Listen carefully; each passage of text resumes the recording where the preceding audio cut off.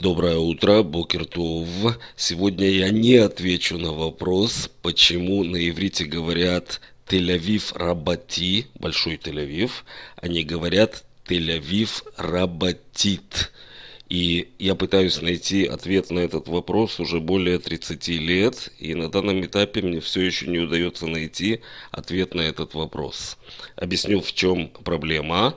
Все названия городов женского рода и работи воспринимается как э, прилагательное мужского рода. То есть, по идее, нужно сказать Тель-Авив работит, а не работи. Но говорят Тель-Авив работи.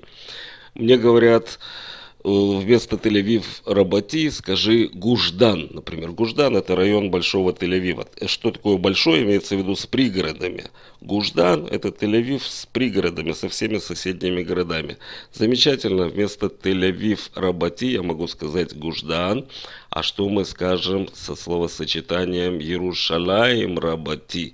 Это Иерусалим с пригородами, Большой Иерусалим. И здесь тоже Работи а не работит. Одно из объяснений, которое я слышал, что имеется в виду регион, район, как бы Эзор Иерушалаем, и слово работи относится к слову Эзор.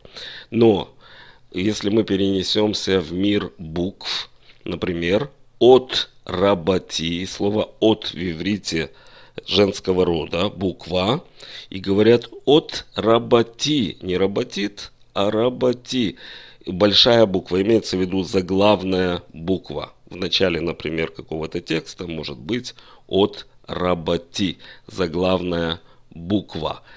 Работи, а не работит. И тогда мне другое объяснение, что работи это э, как бы слово, которое входит в смехут. И от работи получается буква чего-то большого и большая буква. То есть работи это не прилагательное здесь, а слово, которое входит в словосочетание, в связку, смехут, то, что на иврите называется. И в подтверждение этой версии говорят «отиот работи». То есть первое слово во множественном числе, второе слово в не во множественном числе, работи. Утиет работи, заглавные буквы, большие буквы. Замечательно. Но почему тогда говорят магифа работи? Магифа это эпидемия, и работи это как что-то большое. Магифа работи в современном языке это как пандемия, то есть мирового масштаба эпидемия. Если бы это был смехут, тогда нужно было бы сказать магефат работи.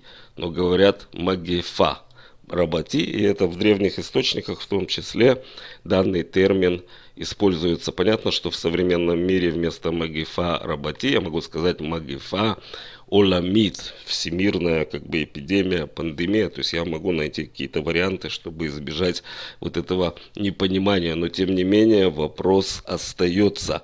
И я буду очень рад, если э, мы вместе попытаемся на этот вопрос найти ответ. Можно спросить наших знакомых, коренных израильтян, специалистов, что они скажут по этому поводу и почему вот работи только как бы условно в форме мужского рода работит не, не используется и во множественном числе. То есть можно найти где-то в современных текстах и варианты работит, э, работиет, например, о буквах, но я не уверен, что это правильно и приемлемо. То есть в любом случае нужно работи использовать. Я очень надеюсь, что это было интересно. Спасибо за внимание. С вами был Марк Харах, Литраут. До свидания.